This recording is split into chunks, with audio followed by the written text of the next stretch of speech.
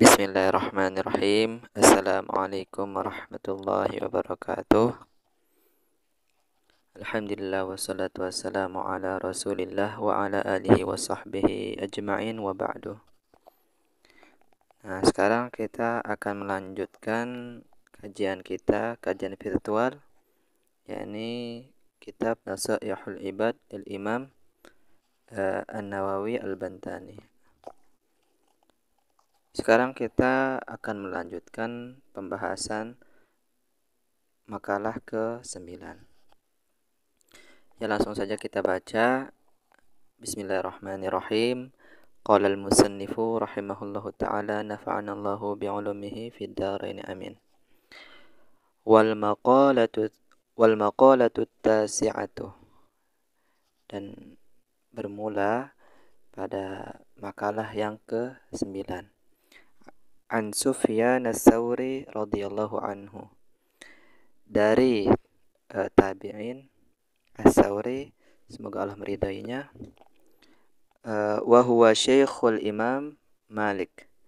Dan Imam As-Sufyan As-Sawri ini merupakan gurunya Imam Malik mazhab Imam Malik.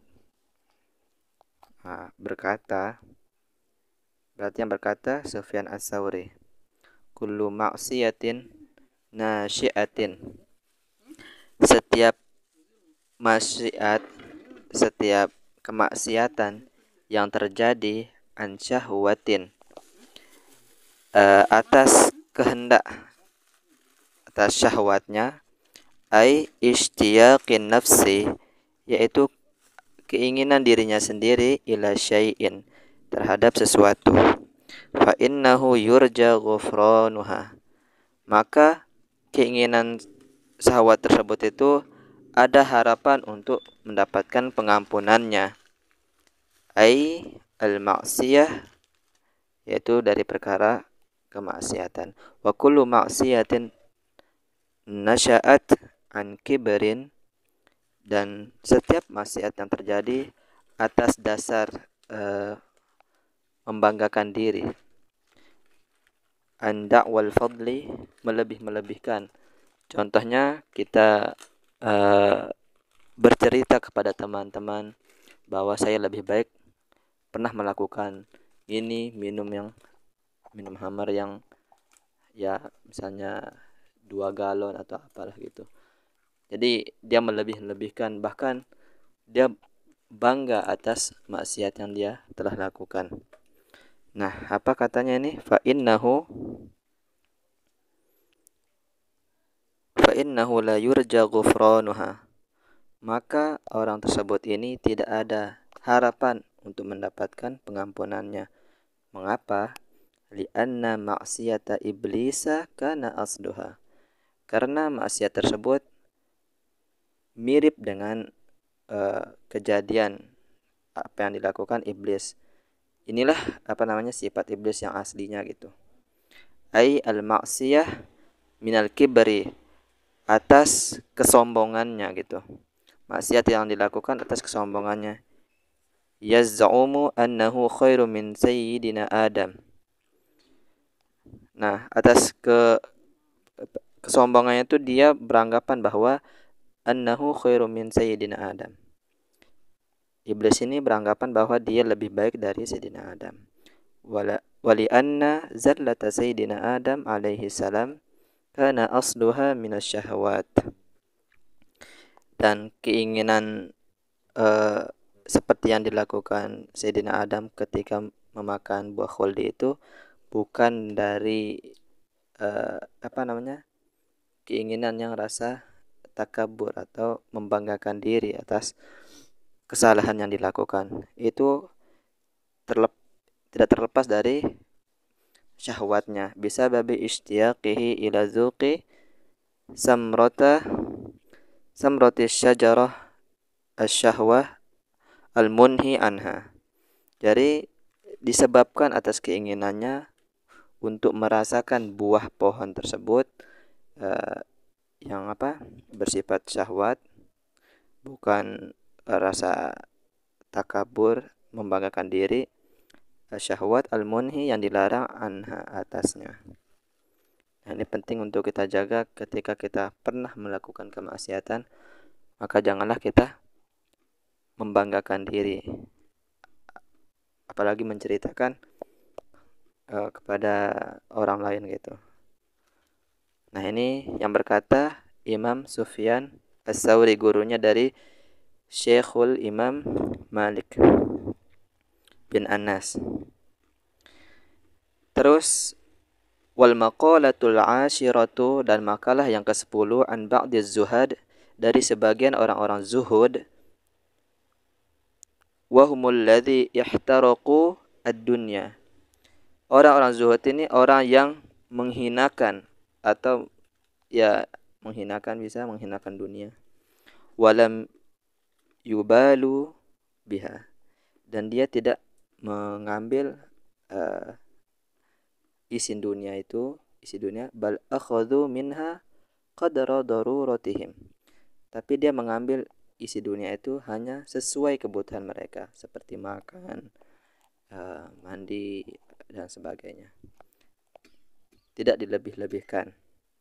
Seperti berkeinginan memiliki uh, apa rumah besar atau sebagainya gitu. Dia berkata ini man aznaba zamban barang siapa yang melakukan suatu dosa ai tahammalahu yaitu orang yang berbuat dosa itu dianggap apa komentar Imam Nawawi orang yang menanggung beban tahammal itu kayak kata hamil itu dia membawa beban gitu. Wa huwa yadhaku. Dan dia tertawa atas dosa yang yang dia lakukan. Ai wal halu annahu yafrahu bitahammulihi. Dengan kondisi bahwasanya ia bangga senang atas beban ia yang dia bawa itu. Fa innallaha yudkhiluhun nara wa huwa yabki. Maka Allah Subhanahu wa taala akan memasukkannya ke dalam neraka dalam keadaan menangis. Nah, ini berhati-hati ketika kita melakukan dosa. Terlebih lagi kita tertawa, maka siap-siap kita akan dimasukkan ke neraka dalam keadaan menangis. Wali anna haqqahu an yaduma wa yastaghfirullah ta'ala lizalik. Dan sebenarnya hendaknya ia menyesali dan beristighfar kepada Tuhan atas dosa yang dilakukan tersebut. Wa man ata'a wa huwa yabki.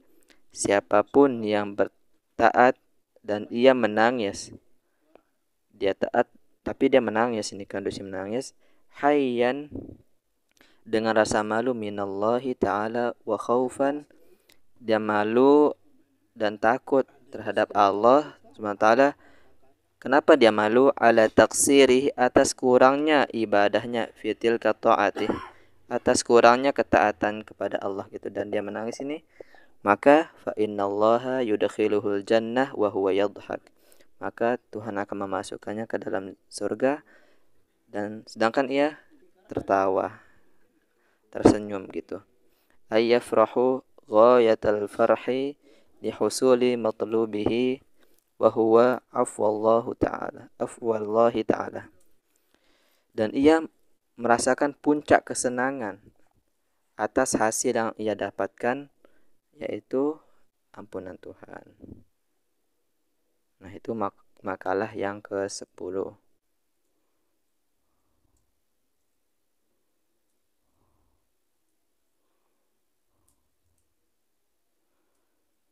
dan makalah wal maqalatul hadiyatu asyarah dan makalah yang ke-11 an ba'dil hukama dari sebagian ahli hikmah. Ai al awliya para kekasih. La tahriqu az-zunuba as-sighara. Ia tidak pernah menyepelekan dosa-dosa kecil. Ai la ta'udduha sigharan. Jadi dia apa benar-benar gitu tidak memperhitungkan. Maksudnya dia benar-benar teliti atas hal-hal yang kecil gitu dosa-dosa kecil fa innaha la tatasya'abu minha az-zunubu al-kibar karena dosa-dosa kecil itu tidak berakar minha az-zunuba al-kibar. Jadi dosa-dosa kecil itu terkumpul menjadi besar gitu maksudnya. Wa aidan rubbama yakunu ghadbullahi ta'ala fi tilka sigari. Dan dan juga bisa jadi dosa-dosa kecil yang pernah kita lakukan itu apa bisa mengundang kemurkaan Tuhan uh, atas dosa tersebut atas dosa kecil itu yang mana kita meremehkan dosa kecil itu jadi penting ini mengambil pendapat ahli hikmah ia tidak pernah meremehkan dosa kecil sekecil apa pun itu ia tidak meremehkan karena bisa jadi mengundang kemurkaannya Allah Subhanahu wa taala. Ya mungkin itu saja cukup tiga makalah dulu. Insyaallah nanti kita akan lanjut. Wassalamualaikum warahmatullahi wabarakatuh.